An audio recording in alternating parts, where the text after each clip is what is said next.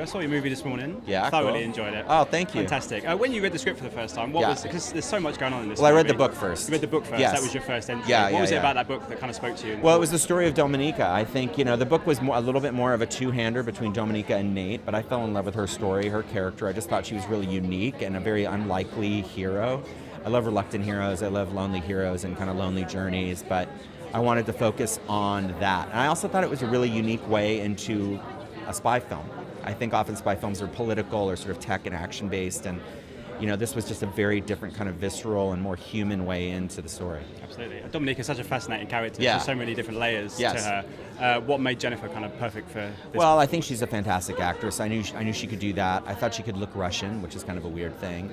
Um, I love working with her, so I knew she could do it if she wanted to do it. And uh, you know, it was really fun because we'd done three movies with her playing the same character. It was great to kind of go in and do something together from the ground up and like do something completely different and like push her into really new territory. Absolutely. Visually, it's got such a distinct look about it. For Yeah, you as a yeah. filmmaker, what was the most important thing, most important element to bring to the screen? Well, there's a few things. I mean, we did a lot of research, so a lot of the colors came from the research that we found, the kind of color palette, and we ended up basing a lot of the color on sort of post-war Russian art.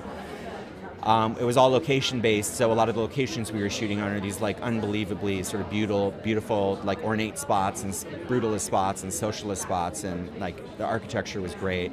And then in terms of camera work, I wanted very naturalistic lighting, but I was going to keep everything uh, much wider than I had been doing in the in the Hunger Games, and also cut less and slow things down a little bit and also frame things much more formally. I wanted a lot more sym- symmetry and a lot more of a graphic quality to it.